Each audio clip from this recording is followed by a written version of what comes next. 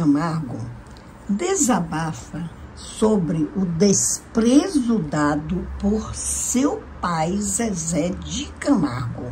Olha, eu vou contar aqui para vocês, mas se você ainda não está inscrito no canal, você se inscreve, dá aquele like, deixa o seu comentário.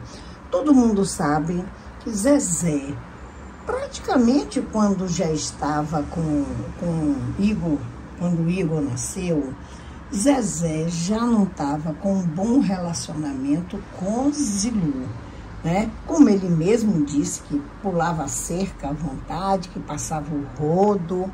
E se hoje está com 28 anos e Zezé tem de relacionamento com Graciele desde o tempo de amante, seus 20, 21 anos, ou seja, Igor era uma criança ainda quando Zezé preferia estar na rua com um amante, caindo no mundo com um amante, do que estar ao lado dos seus filhos. Então, os outros já tinham um pouquinho mais de consciência, mas ele, como menino, sempre que o menino quer ter o pai como referência, referência que ele tinha foi quando ele começou a ouvir e a entender as coisas, que o pai tinha um amante que estava prestes a é, querendo manter um relacionamento duplo, mas que as brigas estavam constantes.